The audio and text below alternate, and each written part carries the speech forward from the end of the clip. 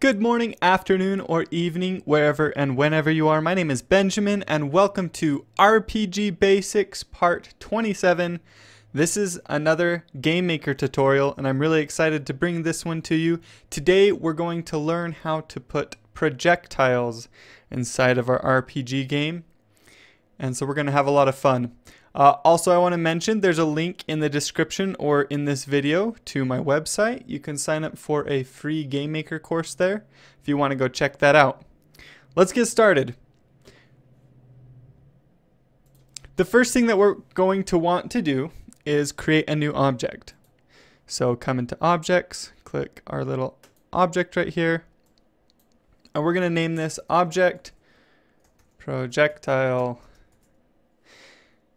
and it's actually going to be pretty similar to our damage object because it's going to do damage, right? So we're going to give it a create event and drag over a control action here. And we're going to say creator equals no one.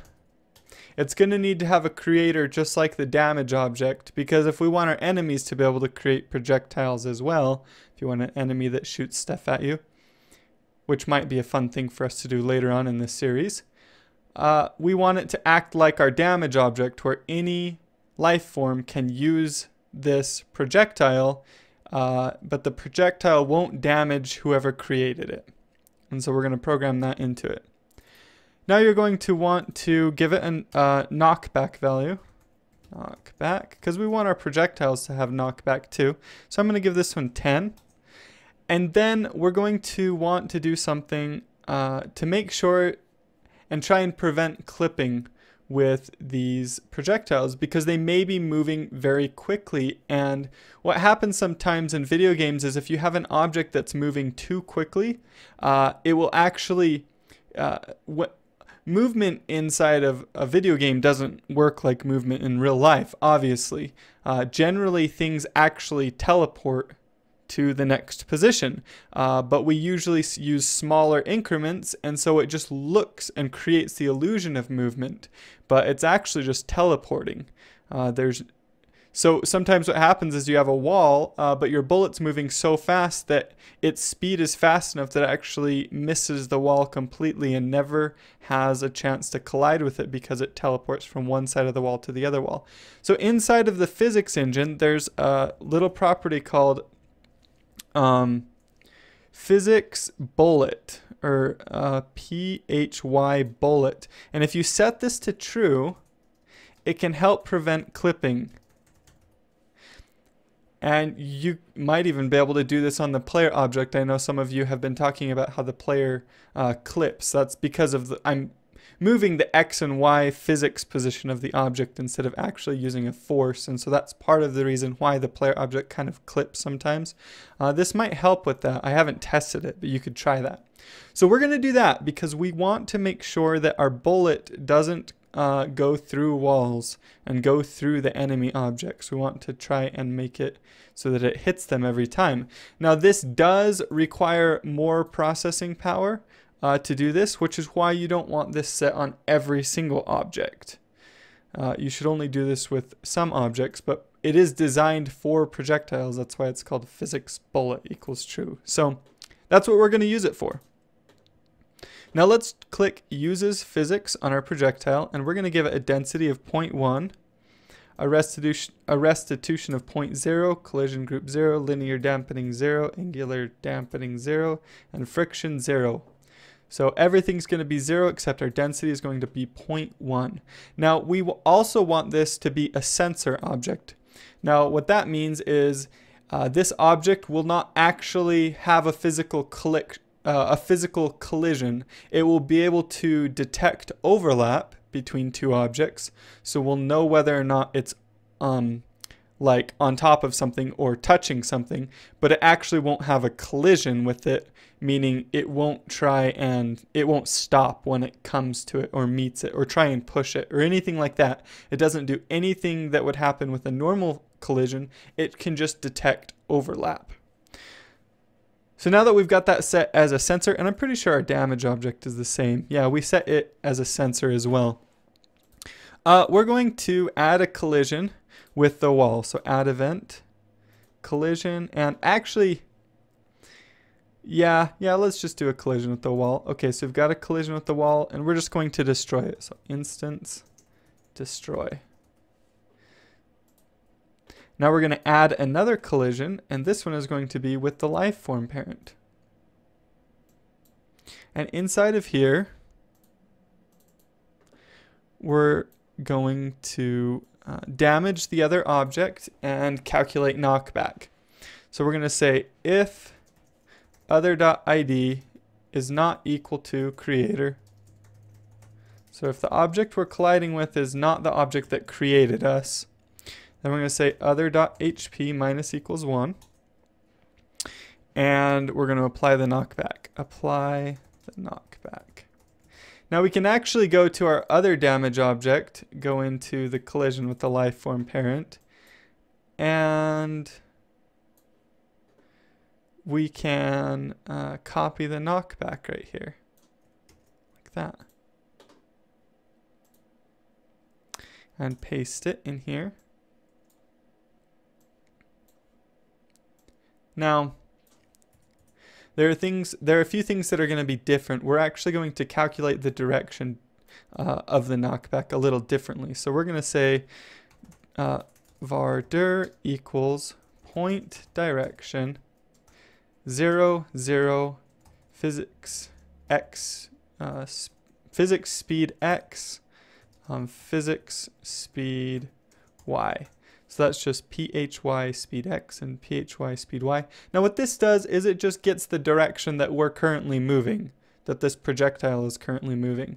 And that will allow us to apply that direction to the, as the knockback for the other instance.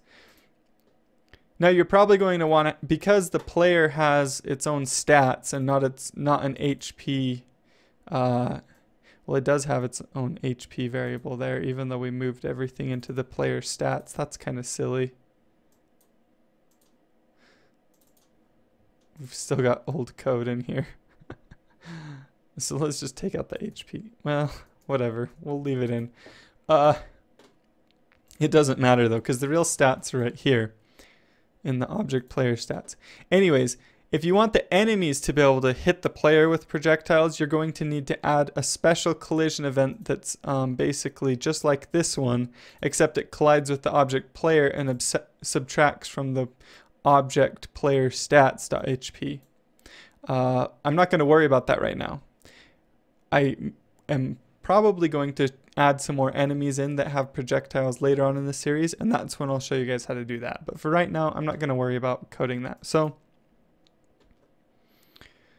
now that we've got the uh, the knockback handled, uh, we want to make sure that when it collides with an enemy that we destroy it. But we I don't want to destroy it immediately because I want it to be able to hit more than one enemy if there's two enemies there. So I'm actually going to set an alarm and say alarm 0 equals 1.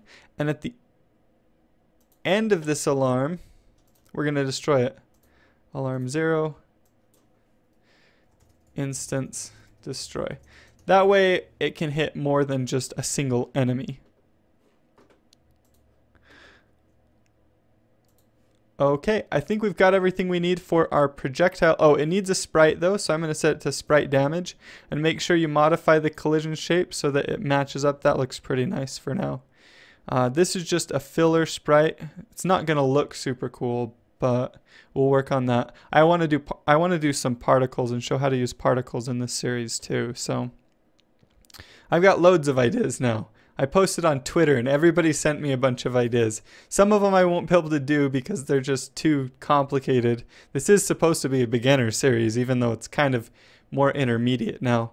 But I, I want to still try and keep things simple for the most part. So now we just need to add an option to be able to create the projectile. So we're going to go into our helper scripts and script get input right here. Now we need to add maybe, I'm just going to call it spell key maybe, spell key. And we're going to say keyboard check pressed ord. And we've got, let's see, we've got C for dash, X for attack, and Z for pause. So maybe we'll do V for the spell key. And then we're going to want to do the same thing for the controller. So I'm just going to do face 2. I don't know exactly which button that is. I don't have a controller plugged in right now, but spell key face 2. And that should give us at least one of the buttons will work for spells. I don't know which one it is. You guys can change that to face 2 or face 4, whichever works better for you. Okay, but now we're getting the spell key input. So come into the player states and come into the move state. And you can see the first thing we check for is the dash key and then the attack key.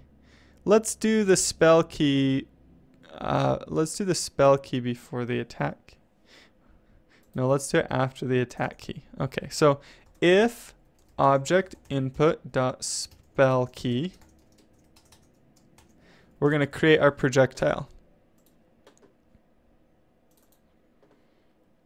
So we're going to say var p for projectile equals instance create x, y, object projectile. Then we're going to say var x force. We need to create an x force. We're just going to use length dir x 20. That's going to be basically how fast the projectile goes. And well, yeah, yeah, that is. And then face times 90. So that's going to get the direction that we're facing right there. var y force equals length dir y 20 face times 90. There we go. We've got our y force and our x force. Now we can apply them. Well, we want to set the creator too. So p dot creator equals id. And now we want to apply the force. So we're going to say with P physics apply impulse. And we're going to say X, Y, X force, Y force. And this will apply an impulse with a speed of 20 in the direction that we're facing. So let's try that in our game now and make sure that this works. Okay, so we've got dashing, and you can see we do clip through the mailbox there, or the sign, not the mailbox. Uh, let's actually really quickly, let's just try setting physics uh, bullet to true on the player and see if that fixes the clipping. Bullet equals true. I bet it will. Okay. Oh, nope. Still doesn't fix it, but that's it's really because I'm setting X and Y instead of using an impulse or something. So if you want to change that, you can. Okay, so okay, so it looks like we can create projectiles. They get destroyed by the wall, so that's good. Let's see if they can hit enemies. And yeah, we can hit the enemies and damage them. So there you go, we've got a basic projectile. In the next video, I'm going to show you guys how to apply uh, particles to this projectile to make it look more like it's actually cool instead of like a big black circle. And it's totally it's totally imbalanced and overpowered, but that's okay. so there you go. Thank you guys so much for watching this video. I really appreciate your support. I want to continue to make videos. Like in the last video I said, I felt a little uninspired, but I'm kind of getting back in the flow of things. I've got some exciting news coming, so stay tuned. Be sure and like, favorite, and subscribe. Share this video on Twitter or Facebook or Tumblr or all the social media places that I can't think of. And I will talk to you guys later.